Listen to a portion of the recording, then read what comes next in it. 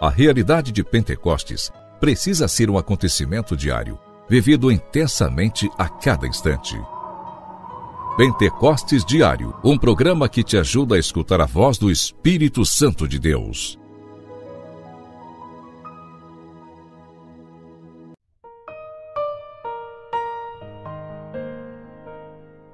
Em nome do Pai, do Filho e do Espírito Santo. Amém.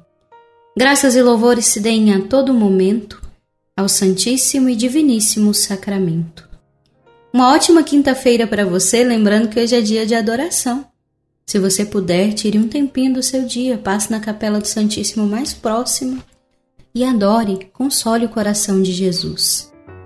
Pentecostes Diário. Pentecostes Diário. Meditação.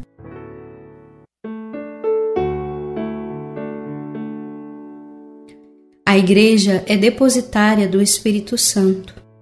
Mais uma vez que a Igreja é composta de membros, poderia dizer-se que o maior beneficiário do Espírito Santo é cada fiel cristão em particular. Esse é o campo de sua ação. Cada um de nós somos beneficiados pela ação do Espírito Santo. O Espírito age o tempo todo. O Espírito sempre está em movimento. E como perceber essa ação do Espírito? Se abrindo a Ele, deixando que Ele toque e transforme a nossa vida. Quando nós temos uma experiência de batismo no Espírito Santo, o nosso dia a dia muda, nossa vida se transforma. É impossível você ser batizado no Espírito e continuar na vida velha.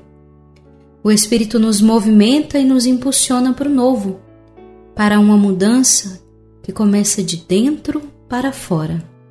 Mudança primeiro em nós, nas nossas ações, nas nossas atitudes, nas nossas decisões, para depois mudar o externo, o ambiente em que nós vivemos, as nossas reações, o nosso jeito de ser.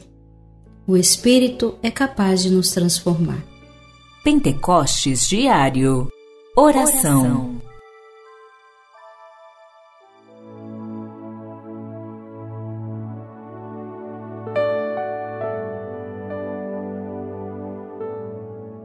Vinde, Espírito Santo, vinde sobre mim nesse dia, transforma o meu coração.